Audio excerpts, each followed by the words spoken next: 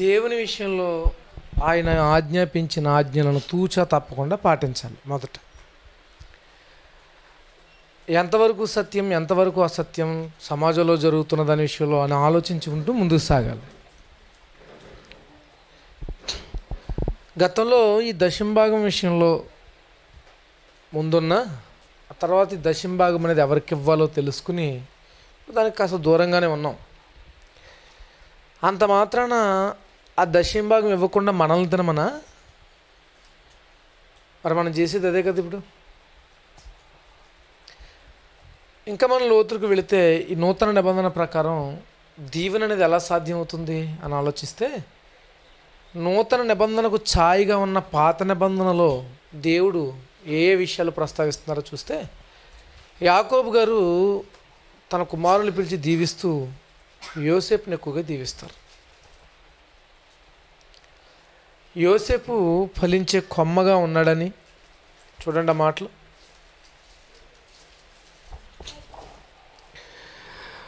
ఇరవై నాలుగు. యాకోబు కొలుచు పరాక్రమశాలి అయిన వాని హస్తబలము వలన అతని విల్లు బలమైనదగును. ఇస్రాయేలునకు బండయు మేపెడివాడును ఆయనే. నీకు సహాయము చేయు నీ తండ్రి దేవుని వలనను పైనుండి మింటి దీవెనలతోనూ క్రింద దాగి ఉన్న అగాధ జన్మల దీవెనలతోనూ సనముల దీవెనలతోనూ గర్భముల దీవెనలతోనూ నేను దీవించు సర్వశక్తుని దీవెన వలనను అతని బాహుబలము దిట్టపరచబడును. నీ తండ్రి దీవెనలు నా పూర్వీకుల దీవెనలపైనే చిరకాల పర్వతముల కంటే హెచ్చుగా ప్రబలమగును. అవి యోసేపు తల మీదను తన సహోదరుల నుండి వేరుపరచబడిన వారి నడినెత్తి మీద ఉండును. చూడండి ఇక్కడ యాకోబు గారి ఆంతర్యం ఏంటంటే యోసేపు ఉన్న పన్నెండు మందిలో ప్రత్యేకమైన వాడు. నా తండ్రి ఇస్సాకు ఆయన తండ్రి అబ్రహాము. మా అందరి దీవెనలు కూడా నా సంతానమైన యోసేపు మీదకి వచ్చునుగాక మింటి దీవెనలతో అతడు దీవింపబడునుగాక అతని తల మీదకే వచ్చునుగాక అంటున్నాడు. ఇందుకీ ఏం చూశాడు యాకోబు యోసేపులు అంటే యోసేపు తాను మాత్రమే తన సంపాద్యం అనుభవించేవాడిగా లేడు. తనకు కలిగిన మేలును యోగ్యత లేని తన అన్నలకు పంచుతున్నాడు. ఒక రకంగా చూస్తే ఇస్రాయేల్ జనాంగం తర్వాత కాలంలో ప్రాణాలతో ఉండడానికి ప్రాణాధారమైన వాడే యోసేపు ప్రేమిన వరలారు యాకోబు ప్రవచన రూపంగా మాట్లాడుతున్నాడు ఇక్కడ. ఎందుకంటే కొన్ని కొన్ని సంఘటనలు మనం కొన్ని ఆలోచించిన దీంట్లో కొన్ని పాఠ్యాంశాలుగా. అప్పటికి సంబంధం లేని మాటలు కూడా మాట్లాడాడు ఆయన. తర్వాత జరగబోయి మరణానికి చేరువవుతూ చివరి దశలో తన కుమారుని పిలిచి దీవిస్తున్నాడు. వారి స్వభావాలను బయటపెడుతున్నాడు. అంటే ఈ దీవెన నీ మీదకి రావాలి అంటే ఇదిగో మేము ఒక కార్యం తలపెట్టాం. అది దానివల్ల నీకు నీ మీదకి వస్తుంది. అందుకే నువ్వు ఇంత గొప్పగా వర్ధిల్లుతున్నావు అంటున్నాడు ఆయన. ఏంటి? యాకోబు గారు దేవునిలో దీవించబడ్డానికి కారణం ఏంటి? అంటే యాకోబు గారు దేవునితో చేసుకున్న ఒక వడంబడిక ఒక నిబంధన అని చెప్పొచ్చు. ఏంటండి ఆ నిబంధన? అంటే ఇదే యాకోబు గారు పెళ్ళి కాకముందు భార్యను తెచ్చుకోవడానికి పద్దనరాముకు బయలుదేరినప్పుడు బేతేలు అనే ప్రాంతంలో దేవుని దర్శనం కలుగుతుంది ఆయనకి. అది ఇరవై ఎనిమిదవ అధ్యాయం ఆదికాండం ఆ అధ్యాయంలో ఈ దర్శనంలో దేవుడు మాట్లాడడం తర్వాత ఆయన నిద్ర లేచి ఆ దేవునికి ఒక అక్కడ రాయి నిలబెట్టి మందిరం అనడం అవన్నీ చూస్తున్నాం. ఇప్పుడు ఇరవై వచ్చిన నుంచి చూద్దాం. అప్పుడు యాకోబు చూడండి నేను తిరిగి నా తండ్రి ఇంటికి క్షేమంగా వచ్చినట్లు దేవుడు నాకు తోడయుండి నేను వెళ్ళుచున్న ఈ మార్గములో నన్ను కాపాడి తినుటకు ఆహారము ధరించుకున్నటకు వస్త్రాలు నాకు దయచేసిన ఎడల యహోవా నాకు దేవుడై ఉంటాడు. నాకు అనుగ్రహిస్తే నాకు దేవుడై ఉంటాడు. చూసారా? మరియు స్తంభముగా నేను నిలిపిన ఈ రాయి దేవుని మందిరం అవుతుంది. దేవుని మందిరం అవ్వాలి అంటే దేవుడు నీ దేవుడు అవ్వాలి. అక్కడ అదే చెప్తున్నాడు చూడండి. నీవు నన్ను దీవిస్తే నీవు నా దేవుడు అవుతావు. దేవుడు మనకు దేవుడు అవ్వాలంటే ఆ దేవుడు మనల్ని దీవించాలి. దేవుడు మనల్ని దీవించగా దేవుడు మనకు దేవుడైన కారణం చేత దేవునికి ఒక మందిరం ఇప్పుడు మన నిమిత్తం వస్తుంది. ఆ మందిరంలో ఆయన ఉంటాడా? మనకు ఒక మందిరం కావాలంటే ముందు మనకి దేవుడు దేవుడు కావాలి. దేవుడు మనకి దేవుడు ఎప్పుడవుతాడంటే మనం దీవించబడాలి. చూసారా? వర్ధిల్లాలి. సంఘం వృద్ధి చెందాలి. మా ఇంట్లో ఇద్దరు ఉంటామండి. మాకు నాలుగు బెడ్రూమ్లు ఉన్నాయి. అది ఇప్పేసి పెద్దది కడదాం అనుకుంటున్నామంటే ఏమంటారు చెప్పండి అందరూ బుద్ధి ఉందా అని అడుగుతారు నీకు. ఏమంటే మా ఇంట్లో మూడు ఫ్యామిలీలు ఉంటాయండి. రెండు బెడ్రూమ్లు ఉన్నాయి. ఇబ్బంది అవుతుందంటే నిజమే మరి. పెద్దది కట్టుకోవాలంటారు. దీవించబడిన దానికి మీకు మందిరం ఎందుకు? మీరు వృద్ధిపరచబడిన దానికి మీకు మందిరం ఎందుకు? ముందు మీకు మందిరం కావాలంటే మీరు వృద్ధిపరచబడాలి అంటే దేవుడు మీకు దేవుడు కావాలి అన్న ఒక సత్యాన్ని ఇక్కడ మనం చూడొచ్చు. తర్వాత మాట్లాడుతూ ఈ రాయి దేవుని మందిరమగును మరియు నీవు నాకు ఇచ్చు యావత్తులో పదే వంతు నిశ్చయంగా నీకు చెల్లించదనని మొరకుకను నేను నీవాడనడానికి రుజువు. నీకు నాకు మధ్య ఒక వడంబడిక టెన్ పర్సెంట్. నేను నీవాడని నీవు నన్ను వృద్ధి చేస్తున్నావు నేను నమ్మాను. కనుక ఎప్పటి నుంచే? ఇప్పుడున్న స్థితి నుంచే ఇప్పుడు నాకు ఏమిస్తున్నావో దాని నుంచే నీకు పదవ భాగాన్ని ఇస్తున్నాను అంటున్నాడు ఆయన. పదవ భాగం అనేది ఏదో నామమాత్రంగాను లేకపోతే ఎవరో చేస్తున్నారు కనుకో ఏదో చేసేది కాదది. దేవునికి ఇచ్చే మీకు ఒక వడంబడిక ఒక నిబంధన. ఎందుకంటే నేను దేవుని వాణ్ణిగా ఉండాలి దేవుడు నన్ను దీవించాలి దేవుడు నాకు దేవుడై ఉండాలి దేవుని మందిరంలో నేను ఉండాలి. ఎన్ని ఎన్ని పాయింట్స్ ఉన్నాయి చూడండి ఇక్కడ. ఇవన్నీ గుర్తిరిగి యాకోబు మాట్లాడుతున్నారు. యాకోబు గారు యోసేఫ్ను ఆశీర్వదించేటప్పుడు యాకోబు నేను అన్న అనలేదు ఆయన. పితరులు అంటున్నాడు. ఇంకెవరు ఇచ్చారు దీన్ని? అది మనం ఇంకా లోతుల్లోనికి వెళ్ళి ఆలోచించగలిగితే ప్రియమైన వరలరా అబ్రహాం గారు కూడా ఈ దశమాంశములను సాక్షాత్తు దేవుని కుమారునిగా ఉన్న మిల్కీ ఇచ్చాడని మనకు వాక్యం తేటతల్లమవుతుంది ఆది కాండం పద్నాలుగవ అధ్యాయం. పద్నాలుగవ వచ్చిన చూడండి లోతు గారు చెరపట్టబడిపోయిన తర్వాత అబ్రహాం గారు చేస్తున్న పని అబ్రహాము తన తమ్ముడు చెరపట్టబడినని విని తన ఇంట పుట్టి అలవరచబడిన మూడు వందల పద్దెనిమిది మందిని వెంట పెట్టుకుని దాని మట్టుకు ఆ ఐదుగురు రాజులను తరిమెను. రాత్రి వేళ అతడును అతని దాసులను అతడును అతని దాసులను వారికి ఎదురుగా మొనలు తీర్చి వారిని కొట్టి దమస్కునకు ఎడమ తట్టు హోబా మట్టుకు తరిమిరి ఆస్తి యావత్తు తిరిగి తెచ్చి తన తమ్ముడైన లోతును అతని ఆస్తిని స్త్రీలను ప్రజలను తిరిగి తీసుకుని వచ్చాను.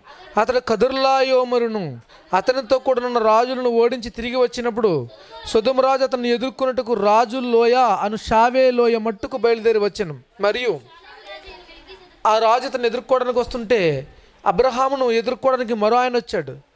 మరియు షాలేము రాజైన మెల్కీ సెదకు మెల్కీ సెదకు ఈయన ఏదో ఎవరికో పుట్టినాని కాదు ఈయన. భూమి మీద అకస్మాత్తుగా ప్రత్యక్షమైన దేవుని కుమారుడు ఈయన. భూమి మీద అబ్రహామును దీవించడానికి వస్తున్నాడు ఆయన. అప్పటికి అబ్రహాము చేతుల్లో కొల్ల సొమ్ము విస్తారంగా ఉంది ప్రేమిన వరలరా ఈ రాజులది దోచుకుని వెళ్ళిపోయిన ఆ రాజులది ఆ రాజులది ఈ రాజులది కలిసి మొత్తం అంతా తెస్తున్నాడు ఇప్పుడు అబ్రహాం కొల్ల అంతా ఇలాంటప్పుడు ఎందుకు? దేవుడు దీవించాలనుకుంటున్నాడు. అంటే ఒక నిబంధన చేసుకుంటున్నాడు అబ్రహాముతో. ఐశ్వర్యంతో ఉన్నప్పుడు ఇంకెందుకండి దేవుడు దీవించడం అనుకుంటాం మనం? ఒక నిబంధన ఒక క్రమం దానిలోనికి మనల్ని తీసుకెళ్తూ ఉంటాడు ఆయన. ఇక్కడ మనం చూడగలిగితే ప్రిమిన వరలరా షాలేము రాజైన మిల్కీ శతకు రొట్టెను ద్రాక్షరసమును తీసుకుని వచ్చాను. అతడు సర్వోన్నతుడగు దేవునికి యాజకుడు. ఎవరు? మెల్కీ సదకు సర్వోన్నతుడకు దేవుని యాజకుడు ఆయన పరలోకంలో ఒక యాజకుడు ఉన్నాడు దేవుని దగ్గర. ఆయన యేసుక్రీస్తు వారు. మెల్కీ సదకు క్రమము చొప్పున ఆయన ప్రధాన యాజకుడిగా వెలుగొందుతున్నాడు. ప్రధాన యాజకుని పని ఏంటంటే పాపులైన వారి కొరకు కొరకు విజ్ఞాపన చేయటం. రక్తాన్ని పరిశుద్ధ దేవాలయంలో చిందించటం. ప్రోక్షించటం. ఇక్కడున్న ప్రధాన యాజకులు సంవత్సరానికి ఒకమారు పరిశుద్ధమైన పశువుల రక్తాన్ని చేతపట్టి పాపుల కొరకు పరిశుద్ధమైన దేవాలయంలోనికి వెళుతుంటారు పరిశుద్ధ స్థలంలోనికి. కానీ మన ప్రధాన యాజకుడు ఆకాశము కంటే మిక్కిలి హెచ్చైనవాడు ఆయన యేసుక్రీస్తు ప్రభువు. ఆయన నిరంతరము దేవుని సన్నిధిలోని మన కొరకు విజ్ఞాపన చేస్తున్నాడు ఆయన. ఆ మెల్కీ సదక్ ఆ ప్రధాన యాజకుడు భూమి మీదకి కొన్ని వేల సంవత్సరాల క్రితమే అబ్రహామును ఆశీర్వదించడానికి దిగొచ్చాడు ఆయన. ఆ సందర్భాన్ని మనం చూస్తున్నాం. ఆయన అంటున్నాడు అబ్రహామును ఆశీర్వదించి ఏమంటున్నాడు ఆయన ఆకాశమునకు భూమికి నీ సృష్టికర్తయును సర్వోన్నతుడైన దేవుని వలన అబ్రహాం ఆశీర్వదింపబడునుగాక అనియు. నీ శత్రువులు నీ చేతికి అప్పగించిన సర్వోన్నతులకు దేవుడు స్థుతింపబడును గాక అనియు చెప్పాడు. అప్పుడు అతడు అన్నిటిలో ఇతనికి పదవంతు ఇచ్చాడు.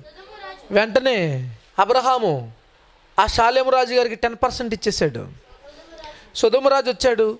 మనుషులను నాకు ఇచ్చే ఆస్తి నీవే తీసుకో. నా ప్రజలు నాకు ఇవ్వండి. నా భార్యలు నా బిడ్డలను మా దేశంలో ఉన్న ప్రజలను తీసుకెళ్ళిపోయారు వాళ్ళు మాకు ఇచ్చేయండి. మా ఆస్తి వారాస్తి నువ్వే తీసుకొని అబ్రహాంతో చెప్తుంటే అబ్రహాము చూడండి. ఇది ఎప్పుడు జరుగుతుందంటే ఈ తెచ్చిన సంపాదనతో పాటు వచ్చిన ఏదో ఇచ్చినప్పుడు కాదు. బాగా వినండి మాట. అబ్రహాము కొల్లబట్టుకుపోయిన ధనాన్ని సాధిస్తున్నప్పుడు ఈయన ఎదుర్కోవడానికి వచ్చిన సాలేము రాజు ఇంకా ఈయనకి ఏదో ఇచ్చినప్పుడు కాదు. అబ్రహామే ఈ కొల్ల సొమ్ములో పదవ భాగాన్ని షాలేము రాజుగా పిలువబడుతున్న మెల్కి సదకు ఇచ్చిన తర్వాత అబ్రహామును సుధుమరాజు ఎదుర్కొని మా ఆస్తి మాకు వద్దులేండి మీరు కష్టపడి యుద్ధం చేశారు కదా మీరు తీసుకోండి. మా భార్యలు మా పిల్లలు మా ప్రజలు మాకు ఇవ్వండి అంటుంటే అబ్రహాం పౌరుషంతో అంటున్న మాట ఏంటి? అది మనం చూద్దాం రండి ఇరవై రెండు అబ్రాము నేనే అబ్రామును ధనవంతునిగా చేసినని నీవు చెప్పకుండానట్లు ఒక నూలు పోగైనా చెప్పుల వారైనా నీ వాటిలో ఏదైనా తీసుకురనని ఆకాశమునకును భూమికి నీ సృష్టికర్తయ్యను. సర్వోన్నతులకు దేవుణ్ణైనా యహో ఎదుట నా చెయ్యెత్తి ప్రమాణం చేస్తానంటున్నాడు ఆయన అదేంటండి? ఏదన్నా పని చేస్తే ప్రత్యుపకారం ఏంటని అడుగుతాం. ఏమండి? ఈ సొదమ గుమర్రా మిగిలిన పట్టణాల ఈ ఐదుగురు రాజులు శత్రురాజుల చేతిలో చిత్తుగా ఓడిపోయి తన భార్యలను పిల్లలను సంపదను వెండి బంగారాలను కొల్లబట్టుకుని పోతే ఇంతకీ అబ్రహాం దగ్గరికి న్యూస్ ఏమొచ్చిందో తెలుసా? ఇలా ఐదుగురు రాజులను ఓడించి వెళ్ళిపోయారు. అంతేకాదు నీ తమ్ముడు కొడుకు ఆయన ఉన్నాడు కదా లోతు అతన్ని కూడా పట్టుకుపోయారు. అతన్ని పట్టుకుపోయారు అన్నప్పటికీ పౌరుషంతో లేచి మూడు వందల పద్దెనిమిది మందితో తన ఇంట పనివారితో యుద్ధానికి బయలుదేరాడు ముదుసలి వయసులో అబ్రహం. వెళ్ళి ఆ రాజులను జయించి దేవుడు సహాయం చేశాడు. మరి ఎవరి సంపద ఏంటో తెలియట్లేదు. ఆ సంపద ఈ సంపద మూడగట్టుకుని వచ్చేసాడు ఇక. వారి భార్యలను పిల్లలను వారి పని వారిని అందరినీ తోడుకుని వచ్చేసాడు. ఈయన వస్తుంటే షాలేమురాజు ఎదురొస్తున్నాడు. వెంటనే పదవ వంతు అతనికి ఇచ్చాడు. అప్పుడు ఆ పదవంతును తీసుకున్న ఆయన ఇతను దీవిస్తున్నాడు. ఏమని? ఆకాశమునకును భూమికిని సృష్టికర్తను సర్వోన్నతుని దేవుని వలన అబ్రహం ఆశీర్వదింపబడును గాక అన్నాడండి అంతే. ఎవరు? మెల్కీ సదకు తర్వాత ఆయన వెళ్ళిపోయిన తర్వాత సుధమరాజు వచ్చి "ఆ, మొత్తానికి మాకు మరలా మా వారందరిని సాధించి పెట్టారండి. మా ఆస్తులని మీరు తీసుకోండి. మా వారిని మాకు ఇవ్వండి అంటే నూలు పోగు కూడా వద్దంటున్నాడు. నూలు పోగు. చెప్పుకున్న తాడు ఏమన్నా ఊడిపోతే అది కానీ ఇచ్చావు కాక నాకు అంటున్నాడు. ఏ, ఎందుకు? ఎందుకంటే మరి మెల్కీ సదగ్గా పిలువబడుతున్న శాలేమరాజు ఇచ్చాడు కదా పెద్ద బంగారం అందుక? నో అతను ఏమి ఇవ్వలేదు. అతనికే ఈయన ఇచ్చాడు. దరిద్రం ఏంటి ఆశీర్వాదం ఏంటో ఇక్కడ ఉంది. జాగ్రత్తగా వినండి బాగా అర్థమవుతుంది. ఆశీర్వాదం అంటే ఏంటో తెలుసండి? దేవునికే తన పని నిమిత్తం అర్పించేవాడు ఆశీర్వదింపబడినవాడు వాడి దగ్గర చిల్లిగా లేకపోయినా తెలుసా? ఇక దేవుని ధనాన్ని బిగబట్టేవాడు ఎవడు ఉంటే వాడు దరిద్రుడు వాడు. వాడు ఎప్పటికీ కూడా వృద్ధి చెందడు. కాబట్టి ఏ ధైర్యంతో ఒక రాజు ఇస్తున్న స్వాస్థ్యాన్ని వద్దంటున్నాడంటే అబ్రహాము. ఏంటో తెలుసా? నేనే దశమ భాగాన్ని దేవునికి ఇచ్చాను. ఇప్పుడు దేవుడు నన్ను ఆశీర్వదిస్తాడు కదా నీ ఆశీర్వాదం ఎవడికి కావాలి నీ ఆస్తి ఎవడికి కావాలి నీ నూలు పోగు కూడా నాకు వద్దు నీ బట్టలు ఏమైనా దారులు బయటకు వస్తుంటే అది లాగి నాకు ఇచ్చావు కనుక చెప్పుల తాడు నాకు వద్దంటున్నాడు. ఏంటంటే ఆ ధైర్యం? ఆ ధైర్యం ఈరోజు మనం అందరం కోల్పోవడానికి కారణం ఏంటి చెప్పమంటారా? నేను చెప్పలేను మీరు చెప్పండి. చెప్పగలరా? ఎప్పటికేదైనా కష్టం వస్తే కన్నీళ్ళు పెట్టుకోవటం ఎలాగ ఇది సమస్య? సతమతం అయిపోవటం ఆర్థిక ఇబ్బందుల మధ్య కూరుకుపోవటం ఇవన్నీ ఎందుకు జరుగుతున్నాయి తెలుసా? మనం ఏదో మిస్ అయిపోతున్నాం ప్రేమైన వాళ్ళరా అబ్రహాముకున్న ధైర్యం ఈరోజు మనకు లేదు. అబ్రహాముకున్న ధైర్యం లేదు. అసలు రొట్టె ద్రాక్షరసం ఆయన తేడానికి వస్తే సరే సరే అవి తెచ్చారు కానీ ఈ దశంభాగాన్ని మీకు ఇస్తున్నాను మీరు తీసుకోండి అంటున్నాడు అబ్రహాం. అంటే టెన్ పర్సెంట్ వెనకున్న గొప్ప ఆశీర్వాదం ఇదే. అంటే ఇప్పుడు మళ్ళీ టెన్ పర్సెంట్ ఇమ్మంటున్నట్టున్నాడు రాజు అని అనుకుంటారు మీరు. మా నాకంటే బాగా తెలివైన అందుకే మొత్తం పాట వింటే కానీ మీకు అర్థం కాదు. ఒక యోసేపు ఆశీర్వదింపబడిన వాడిని యాకోబు చెప్పటం వెనకాల రహస్యం చూడండి. అంతేనా అంతేకాదు ప్రియమైన వల్ల ఇంకా దేవుడు తన ప్రజానికానికి అందరికీ ఈ దశమ భాగాన్ని గురించి ఏం ఏం సెలవిస్తున్నారంటే మలాఖీ గ్రంథం. ఎందుకు దశమ భాగం ఇవ్వాలంటున్నారో చెబుతున్నాడు ఆయన. మలాకీ గ్రంథం మూడవ అధ్యాయం. పదవచ్చు నుంచి కొన్ని మాటలు చూద్దామండి. ఏడు నుంచి చదువుదాం. మీ పితరులు నాట నుండి మీరు నా కట్టడంలో గైకొనక వాటిని త్రోసివేసి తిరిగి అయితే మీరు నా తట్టు తిరిగిన ఎడలా నేను మీ తట్టు తిరుగుతాను. నా తట్టు తిరిగితే మీ తట్టు తిరుగుతాను. సైన్యములకు అధిపత్యకు యహోవా సెలవీయగా మేము దేని విషయంలో తిరుగుదామని మీరందరూ? మానవుడు దేవుని యొద్ద దొంగిలునా? అయితే మీరు నా యొద్ద దొంగిలితిరి. దేని విషయంలో మేము నీ యొద్ద దొంగిలితమని మీరందరూ? దేవుని దగ్గర మనం దొంగ దొంగతనం చేస్తున్నామట. ఏంటదంటే పదియవ భాగమును. ప్రతిష్ఠితార్పణములను ఇయ్యక దొంగిలితిరి. రెండు విషయాలు. ఒకటి పదవ భాగం. రెండు ప్రతిష్ఠితార్పణ. ఏదైనా అనుకుంటూ మొక్కుకుంటూ ఉంటాం మనం. దేవా నేను ఇలాగా చేద్దాం అనుకుంటున్నాను. అది ప్రత్యేకం మరలా. దశంభాగంలోది కాదు ఇది. దశంభాగం వర్ధిల్లను కొలది ఇచ్చేది. లేనిది ఇచ్చేది కాదు. ఏమనండి దశంభాగం అంటున్నారు అర్థం కావట్లేదు. వెయ్యి రూపాయలు అప్పు తెచ్చిస్తానండి అవసరం లేదు.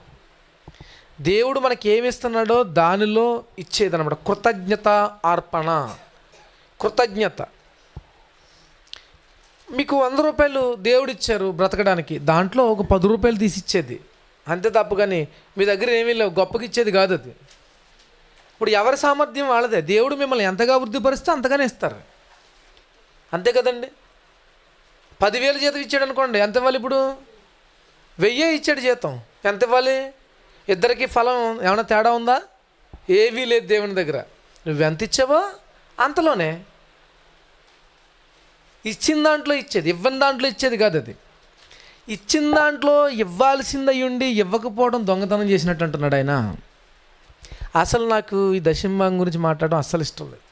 ఎప్పుడూ మాట్లాడలేదు కూడా ప్రసంగాల్లో. కానీ ఈరోజు మనందరి పరిస్థితి ఆలోచన చేస్తుంటే ఏదో ఒక శాపగ్రస్తమైన స్థితిలోనికి దిగిపోతున్నాం అనిపిస్తుంది ప్రేమిన వరలారు. అందుకు దీనికోసం మాట్లాడాల్సి వస్తుంది. అయినప్పటికీ పూర్తిగా వినండి దయచేసి. తొందరపడకుండా సకాలం చెల్లిపోకుండా ఏమో ఏంటో దీని విషయం. ఇది మనకు ఎలా మేలవుతుందో? ఎలా?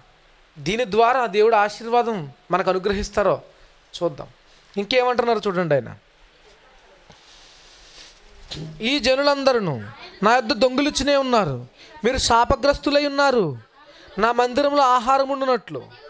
దేనికంటే నా మందిరంలో ఆహారం ఉండునట్లు. పదేవ భాగం అంతయు మీరు నా మందిరపు నిధిలోనికి తీసుకురండి. నా మందిరంలో ఆహారం ఉండాలి. మందిరంలో ఆహారం అనేకమైన వారికి కావాలి. ఒకటి ఆత్మీయ ఆహారం కావాలి రెండు శరీరానికి సంబంధించిన ఆహారం కావాలి. ఇప్పుడు వాక్యం కొరకైనా ఖర్చు పెట్టడానికి ధనం ఉపయోగపడాలి లేదా బీదలైన వారికి ఆహారం పెట్టడానికైనా ఈ ధనం ఉపయోగపడాలి. మనమేమి దేవునికి ఏదో నేను చేస్తున్నానని చేయనవసరం లేదు. ఆయన విష ఆయన దాన్ని చేస్తే చాలు. ఈరోజు మీరు అందరూ ఇక్కడ భోజనాలు పెట్టడంలో సహకరిస్తున్నారు పద్దయ్య గారికి. మీ అందరి సహకారాలు దేవునికి అవసరం లేదు. ఎప్పుడు? మనం ఖచ్చితంగా ఆయనకి ఇవ్వాల్సింది ఇచ్చినప్పుడు. అది ఇవ్వడం మానేసి మనమేదో చేసి మనమేదో చేసి చే చేస్తున్నాం అనుకుంటున్నాం. అది తప్పు అంటున్నాడు ఆయన.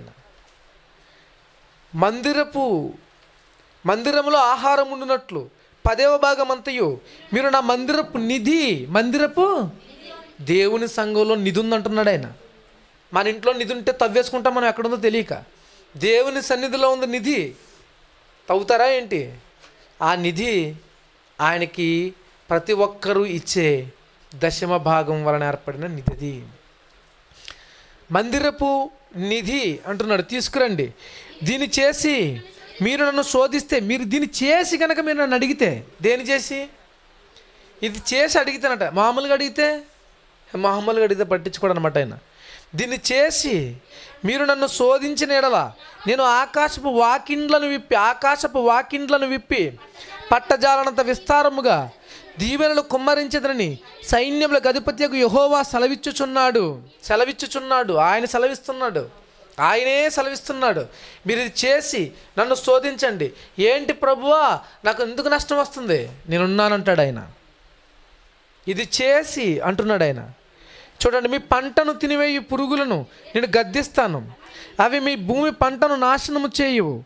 మీ ద్రాక్ష చెట్లు అకాలపు ఫలములను రాల్పక ఉండునని సైన్యముల గధిపత్యకు యహోవా సెలవిచ్చుచున్నాడు.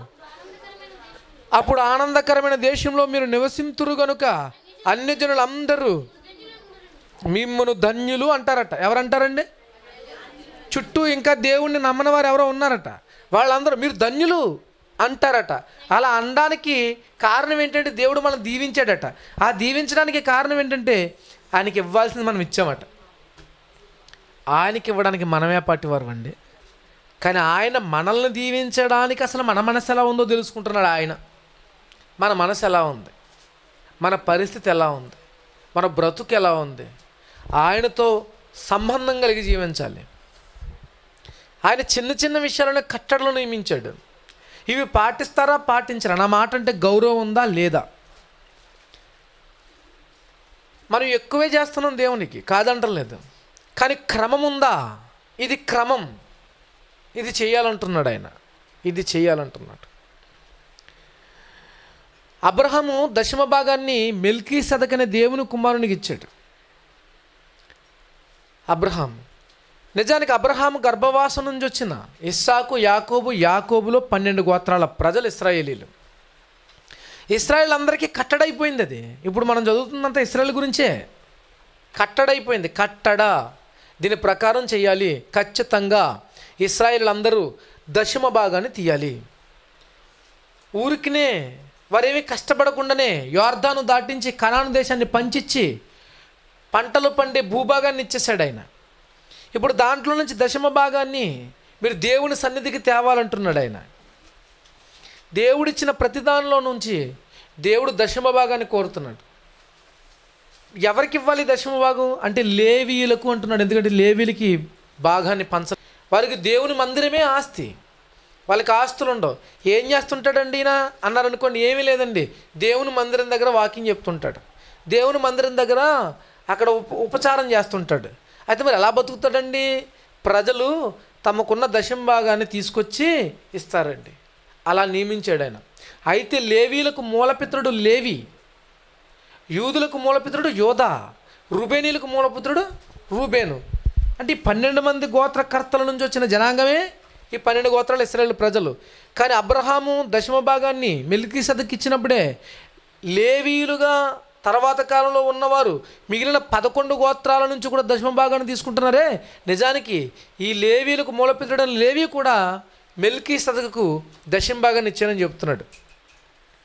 ఇది పౌలు గారి మహాజ్ఞానం. ఎలా చెప్తున్నాడు అంటే అయినా చూద్దాం. హిబ్రిల్కి రాసిన పత్రిక ఏడవ అధ్యాయం. హిబ్రిల్కి రాసిన పత్రిక ఏడు. మొదటి నుంచి.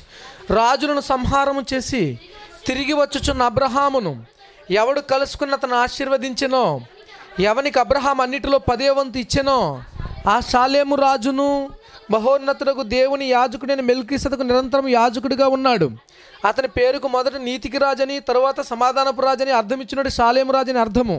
అతడు తండ్రి లేనివాడు తల్లి లేనివాడు వంశాలు లేనివాడు జీవితకాలంలో కాదైనా జీవానికి అంతమైన లేనివాడై ఉండి దేవుని కుమారుని పోలి ఉన్నాడు.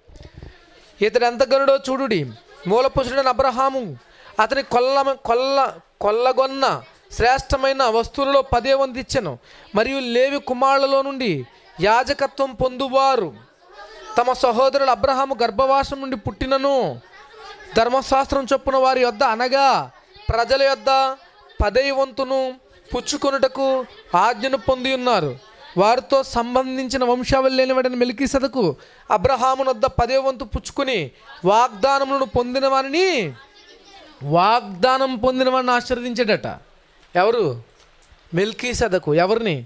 అబ్రహాము అర్బ అబ్రహాము గర్భవాసం నుంచి ఇస్సాకు ఇస్సాకు నుంచి యాకోబు యాకోబు నుంచి పన్నెండు గోత్రాల ప్రజలు. వీరిలో లేవీలకు దశంభాగన మిగిలిన గోత్రాలు ఇస్తున్నారు కదా. దాని గురించే మాట్లాడుతున్నాడు. తక్కువ వాడు ఎక్కువ అని చేత ఆశీర్వదింపబడిన మాట కేవలం నిరాక్షేపమై ఉన్నది. మరియు లేవి క్రమము చూడగా చావునకు లోనైన వారు పదేవంతులు పుచ్చుకొనుచున్నారు. అయితే ఈ క్రమము చూడగా జీవించుచున్నాడని సాక్ష్యం పొందినవాడు పుచ్చుకొనుచున్నాడు. అంతేకాక ఒక విధమున చెప్పిన ఎడల పదేవంతులను పుచ్చుకుని లేవియు అబ్రహాము ద్వారా దశమాంశములను ఇచ్చాను. ఎలాగనగా మెల్కి సదక తన పితరుని కలుసుకున్నప్పుడు లేవి తన పితరుని గర్భంలో ఉండేది. ఎందుకు రాస్తున్నాడు ఇది? అసలు మనిషి పుట్టుక ఎప్పటి నుంచి ప్రారంభమవుతుందో అది చెప్పడానికి కాదు. ఇక్కడ ఒక బ్రహ్మాండమైన దేవుని ఆలోచన ఉంది ఇక్కడ. ఏంటంటే దశంభాగం అనేది ఒకరు ఒకరికి ఇవ్వడంతో వాళ్ళు తింటున్నారు కదండి వాళ్ళు ఉపయోగించుకుంటున్నారు కదని అనుకుంటారేమో. ఈ లేవి కూడా ఆ మెల్కి సతకుకే తమ తాతగారి గర్భంలో ఉండి తాతగారు ఇస్తుంటే ఆయన ఇచ్చినట్టు అంటున్నాడు. అది చెప్పింది దేవుడు. అంటే లేవి మిగిలిన గోత్రాల నుంచి దశమభాగాన్ని తీసుకుంటున్నాడంటే లేవి కూడా ఎవరికి ఇచ్చున్నాడు? దేవునికి ఇచ్చున్నాడట. అది అబ్రహాము ద్వారా సాధ్యమైంది అంటున్నాడు ఆయన. అంటే దశమ భాగం అనేది ఎవరికి చెందిందో చెప్పమంటారా? దేవునికి.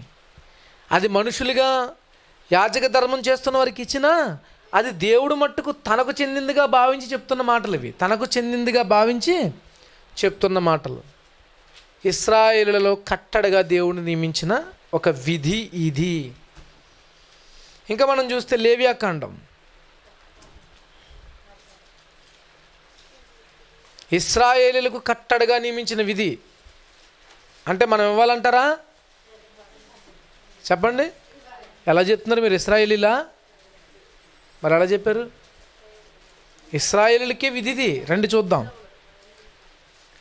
లేవ్యాకాండం చివరి అధ్యాయం ఇరవై ఏడు. ముప్పై నుంచి చూద్దాం ఎలా ఇస్తున్నారు చూడండి దశం భాగాలు ఎవరికి ఇస్తున్నారు? భూధాన్యముల్లోనేమి వృక్ష ఫలముల్లోనేమి భూఫలములన్నిటిలో దశమ భాగము యహోవా సొమ్ము యహోవా ఎవరిదండి ఇది? ఇది పాస్టర్ గారికి ఇవ్వాలండి. అది పాస్టర్ గారిది కాదు దేవునిది.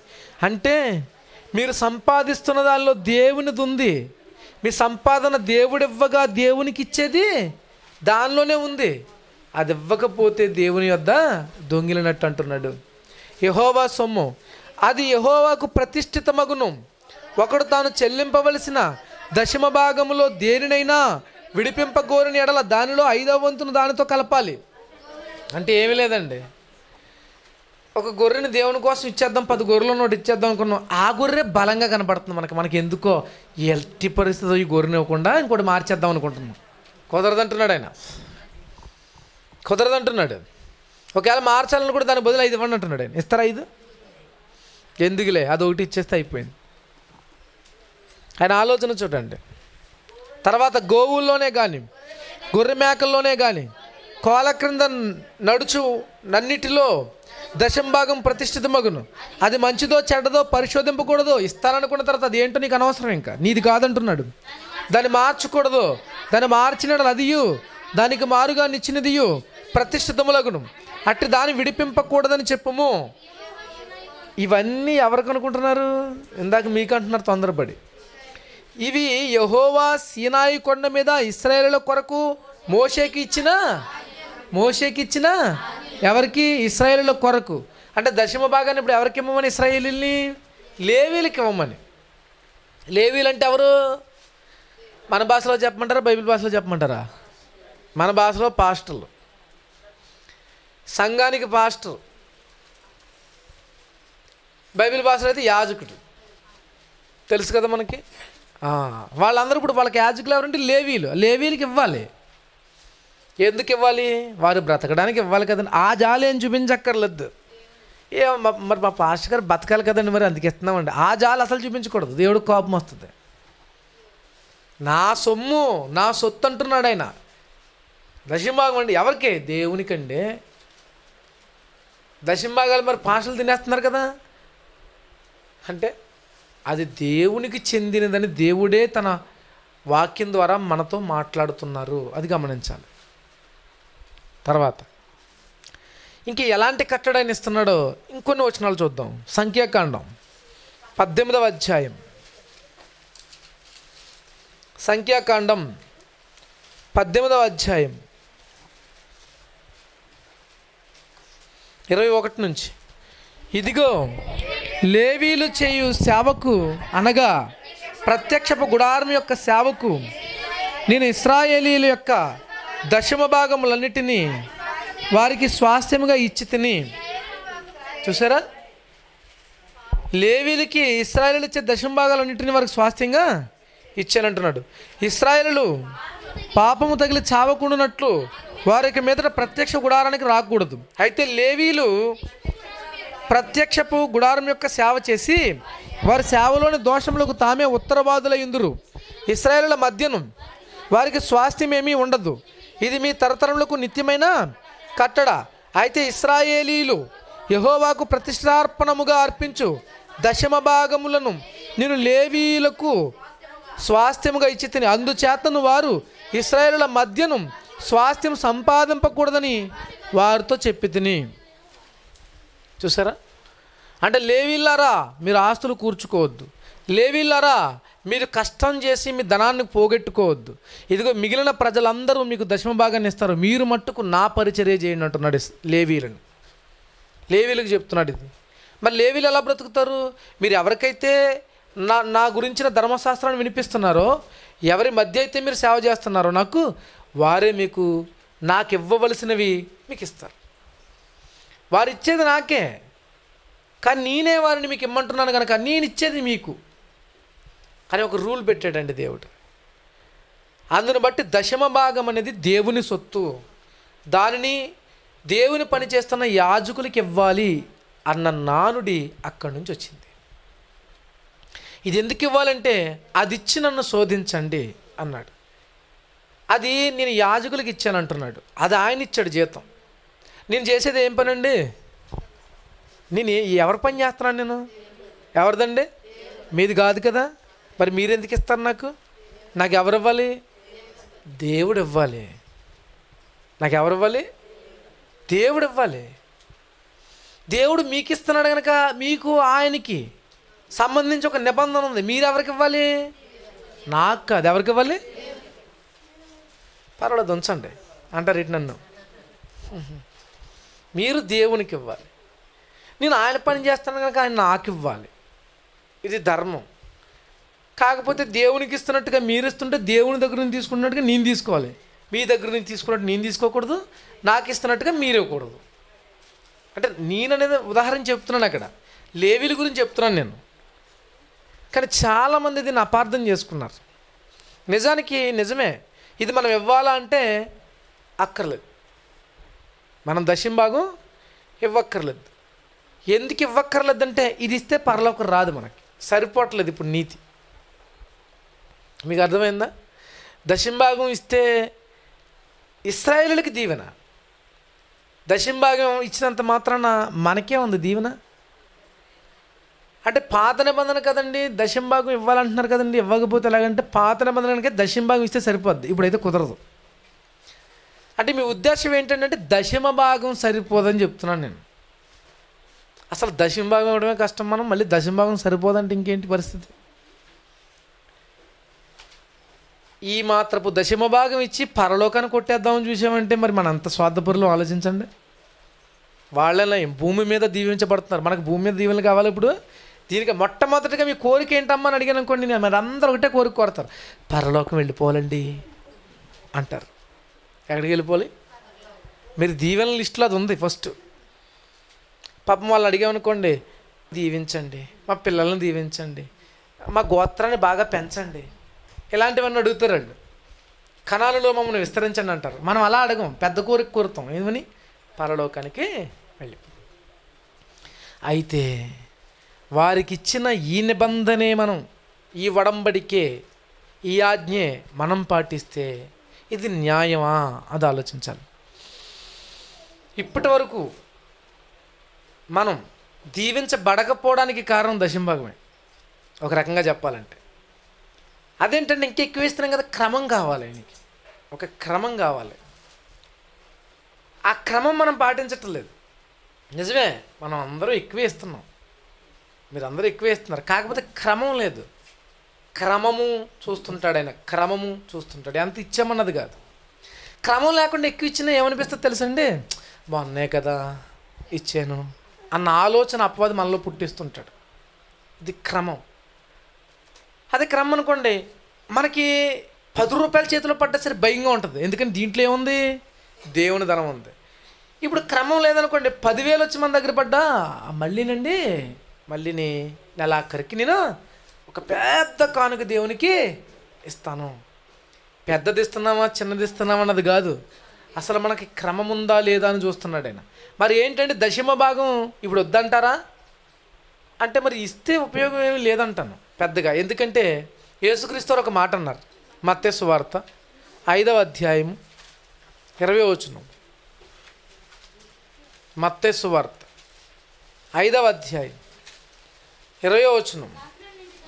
శాస్త్రుల నీతి కంటేను పరిసయ్యుల నీతి కంటేను మీ నీతి అధికము కాని ఎడల మీరు పరలోక రాజ్యంలో ప్రవేశింపరే నేరని అసలు పరలోకం రావాలంటే వారి నీతి కంటే అధికం ఉండాలట.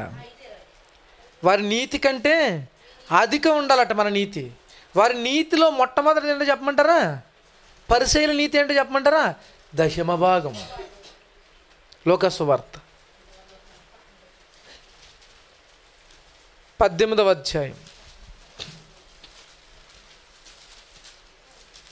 సుంకరు సుంకరి పరిసయుడు దేవాలయానికి వెళ్ళి చేస్తున్న ప్రార్థనలో పరిసైన ప్రార్థన చూద్దామండి. పదకొండు వచ్చును. పద్దెనిమిది పదకొండు.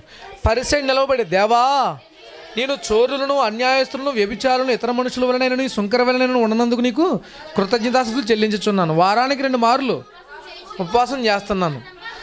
నా సంపాదన అంతటిలో చూసారు అది మాత్రం ఎక్కడ తప్పిపోలేదు ఈ పరిసైడ్ జీవితంలో. పదేవ వంతు నేను చెల్లిస్తున్నా. పదవ వంతు చెల్లిస్తున్నా ఈ పరిసైన్నే పట్టించుకోలేదు దేవుడు.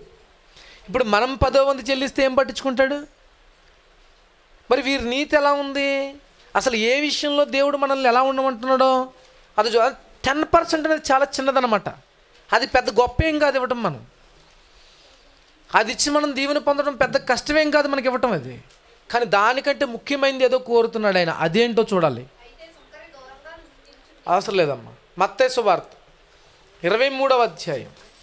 ఇరవై మూడవ వచనం. చూద్దామండి. వీరి వీరి ఏది చేసి ఏది చేయట్లేదు? యేసుక్రీస్తు వారు మనల్ని ఏది చేసి చేయమంటున్నాడో చూస్తే? అయ్యో! వేషధారులైన శాస్త్రులారా? పరిసైలారా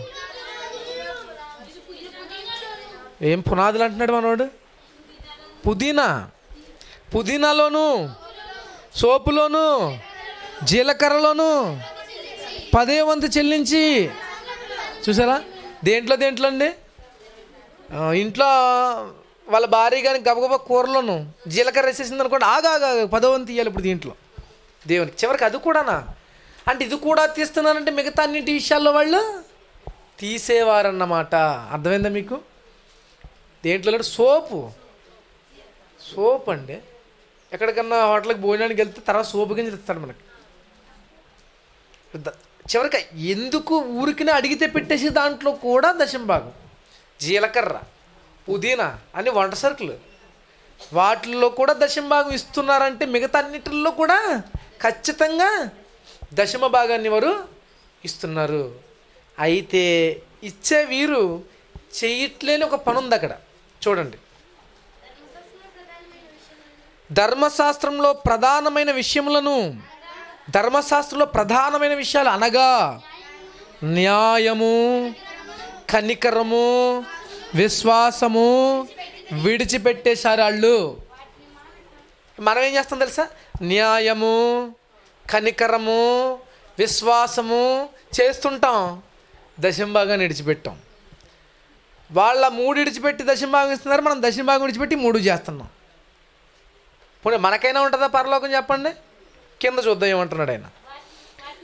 వాటిని మానక వాటినంటే అంటే అన్నిటిలోనూ దశంభావిస్తూ ఇస్తూ పుదీనా జీలకర్ర సోపులో కూడా ఇస్తున్నారు కదా. వాటిని మానొద్దు వీటిని మానొద్దు అంటున్నాడు వాళ్ళని.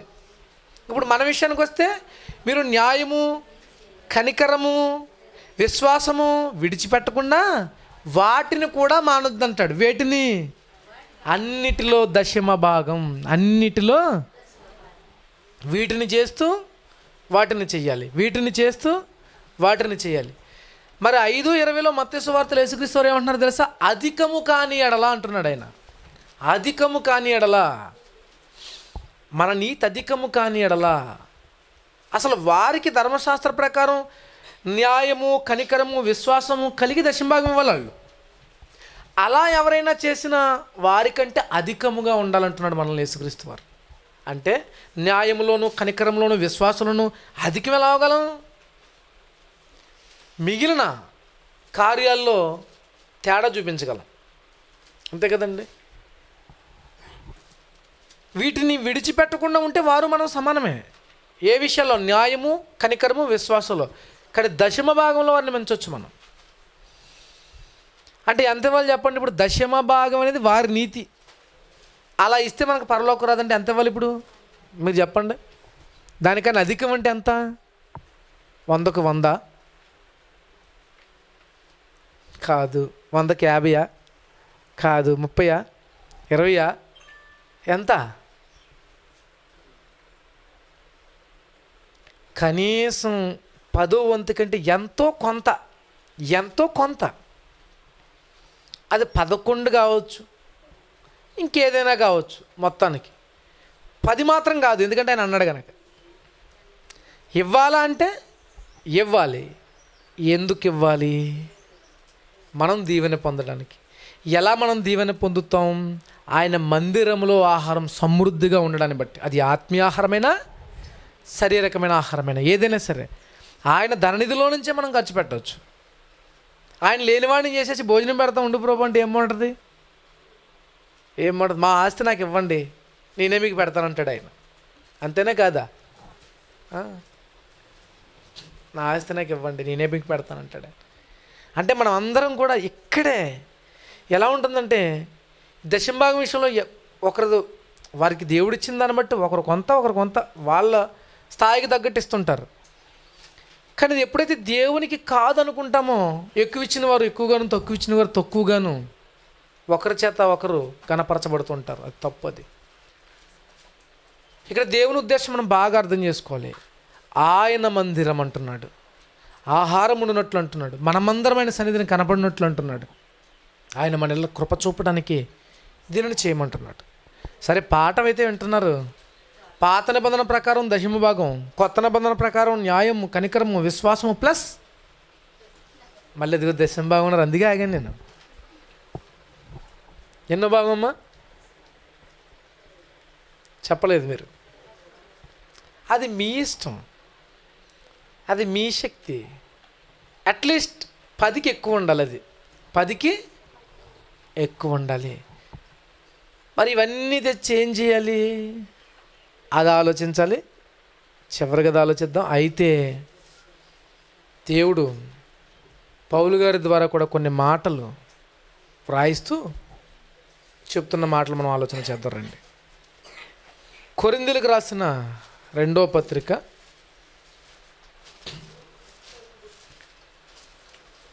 ఎనిమిదవ అధ్యాయము.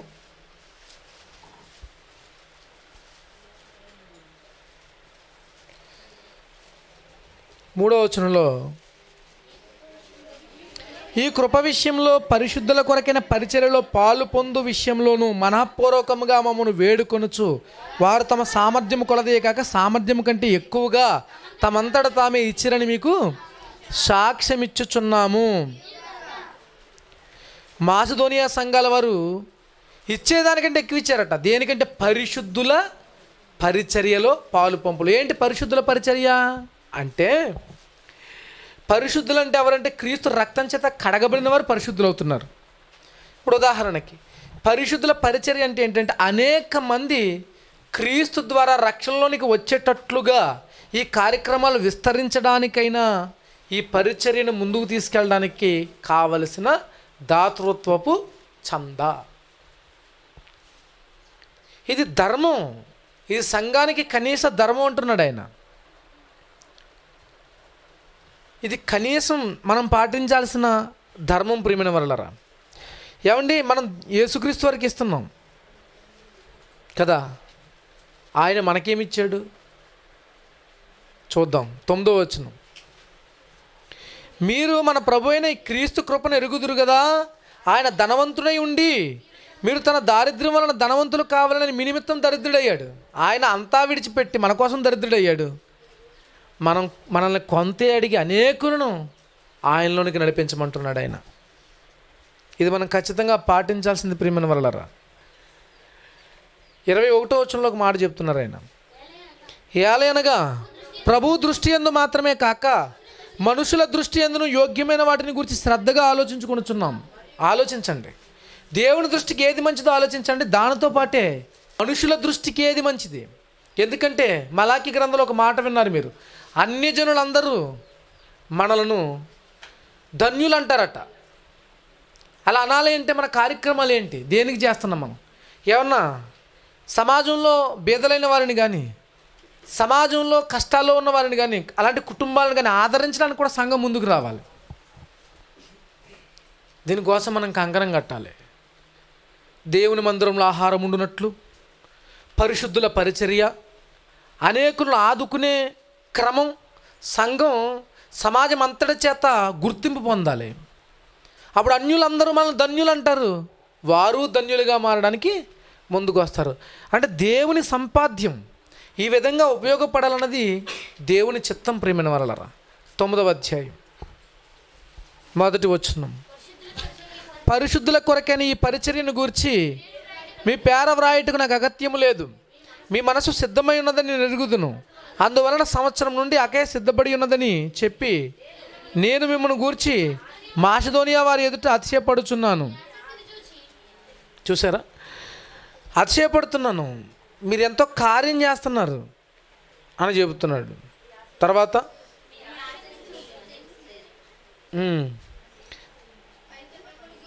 అయితే మిమ్మల్ని గూర్చిన మా అతిశయము మీ ఈ విషయంలో వ్యర్థము కాకున్నట్లు నేను చెప్పిన ప్రకారం మీరు సిద్ధముగా ఉండుటకే ఈ ఈ సహోదరులను పంపితిని.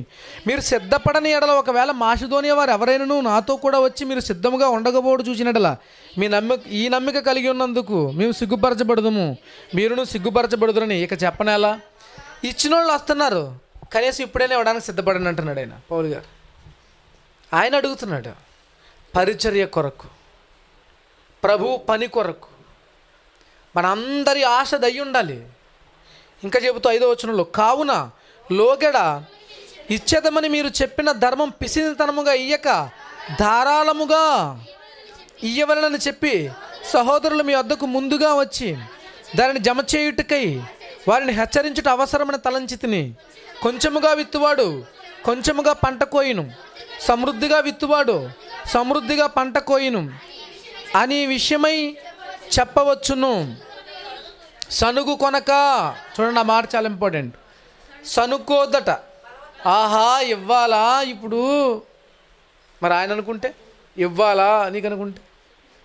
సనుగు కొనక బలవంతముగా కాక ప్రతివాడు తన హృదయంలో నిశ్చయించుకున్న ప్రకారం ఇయ్యవలను. దేవుడు ఉత్సాహముగా ఇచ్చేవారిని ప్రేమించును. మరియు అన్నిటి యందు ఎల్లప్పుడూ మీలో మీరు సర్వసమృద్ధి గలవారై ఉత్తమమైన ప్రతికార్యము చేయుటకు దేవుడు మీ ఎడల సమస్త విధములైన కృపను విస్తరింపజేయగలడు. ఆయన ఇస్తాడు మీకు ఈ సామర్థ్యం. ఆయన మిమ్మల్ని గొప్ప చేస్తాడు. మీరు సనుగుకోకుండా చేయండి కార్యక్రమం అంటున్నాడు ఆయన. ఇందు విషయమై అతడు వెదజల్లి దరిద్రులకు ఇచ్చను. అతని నీతి నిరంతరము నిలుచునని వ్రాయబడి ఉన్నది. అన్నీ సమకూర్చేది ఆయనే అంటున్నాడు చివరికి వచ్చేటప్పటికి మనం ఆయనతో ఒక బాంధవ్యాన్ని కలిగి ఉన్నప్పుడు అన్నీ సమకూర్చేది ఆయనే. మంచిది. ఇంతకీ మీలో ఎవరు తీర్మానం చేసుకున్నారో ఈ పాఠం తర్వాత? న్యాయము కనికరము విశ్వాసము వృద్ధిపరుచుకుంటూ దేవుని సన్నిధుల ఆహారమునట్లు పరిశుద్ధుల పరిచర్య కొరకు బేదలను ఆదరించడానికి వీటన్నిటి విషయంలో ఈ దశమ భాగం విషయంలో ఎవరు ఇక్కడ నుంచి మనం క్రమమైన పద్ధతిని పాటించగలం. క్రమము అన్నాను నేను. లేదు మీకు ఏదో ఇవ్వాలనుకుంటున్నారు అనుకోండి. యాజకునికి ఇవ్వాలనుకుంటే ఇవ్వండి. కానీ దేవునిది దేవునికే చెందాలి. అంతేకాదు అక్కడ సంఖ్యాకాండంలో కిందకు వచ్చేసరికి ఏమంటాడు తెలుసా? తీసుకున్న లేవీలు కూడా దశమ భాగంలోని దశమ భాగాన్ని దేవుడికి ఇమ్మంటాడు. అయితే ఈ పాఠం ఇంతవరకు చెప్పకపోవడానికి కారణం ఏంటంటే ఎన్నో అపోహలు ఎన్నో అపార్థాలు. అందుకే చెప్పలేదు. కానీ ఈరోజు మనం దేవుని వలన దీవెన పొందాలంటే ఖచ్చితంగా దీన్ని పాటించి తీరాలి. దీన్ని పాటించి తీరాలి. మరి పాటించి తీరాలి దేనికి అంటే ముందుగా సంఘాభివృద్ధి పరిశుద్ధుల పరిచర్య ప్రప్రథమమైంది అదేనండి. లోకంలో ఉన్న దీనులను బీదలను ఆదరించడం కంటే పెద్దది ముఖ్యమైనది అనేకులకి సువార్త అందాలి. ఒక కరపత్రాలకు ధనం బయట ఎవరిని అడుక్కోకూడదు. ఒక సువార్త కార్యక్రమానికి బయట ఎవరిని అడుక్కోకూడదు. ఇదిగో అంతమంది వచ్చాం. మనందరికీ భోజనాల కొరకు ఇప్పుడు ఏం చేద్దామన్న ఆలోచన ఇక్కడ వండే స్త్రీలకు రాకూడదు. అన్ని విషయాల్లో కూడా సర్వసమృద్ధి సన్నిధిలో ఉండడానికి గాను ఈ దశమ భాగం అనేదాన్ని దశమ భాగం కూడా కాదు ఇంకా దానికంటే మీకు తోచింది కలిపి ఇది పరలోకానికి మనకి ఆటంకకరంగా లేకుండా ఉం- ఉండునట్లుగా మనకి ఈ దైనందిన జీవితంలో ఇబ్బంది కలగకుండా సనుగు కొనక ఎంత ఇవ్వగలిగితే అంత ఈ దినం నుంచి మనం దేవుని సన్నిధిలో దీన్ని ఇవ్వాలి నాకు ఎక్కడికైనా వాకింగ్ చెప్పడానికి పిలిచినప్పుడు నాకు ఇచ్చే కానుకల్లో నేను దశంబాగానే చెల్లిస్తాను. ఈ పాఠం చెప్పిన తర్వాత నేను తప్పిపోకూడదు. అలాగే మీ కష్టార్జితంలో ఖచ్చితంగా మీరు పదకొండో వంతు చేస్తారో కొందరైతే పదిహేనో వంతు చేస్తున్నారు కొంతమంది ఇరవయో వంతు చేస్తారు. పది దాటాలి. అది ఇప్పుడే మనం మన పెద్దలు ఉన్నారు ఇక్కడ. పెద్దయ్య గారు పెదనాన్న గారు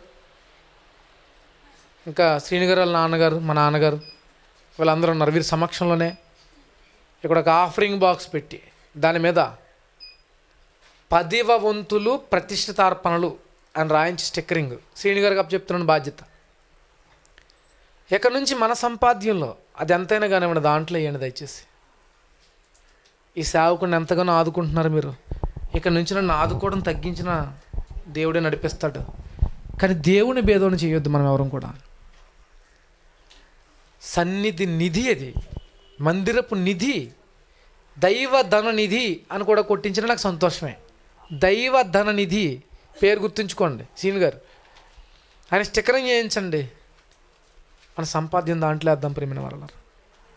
అది అవసరానికి అది అవసరానికి మనం దేవుని కార్యక్రమాల నిమిత్తం ఉపయోగిద్దాం. ఏదైనా మరీ అవసరమైతే ఇప్పుడు సజావుగా సాగుతుందా? సాగనివ్వండి. మరి మా ఇంటి దగ్గర సెమినార్ పెడదాం అనుకుంటున్నాను. మరి దాంట్లోంచి నాకు ఏదైనా ఇవ్వండి? అలాంటి వద్దు.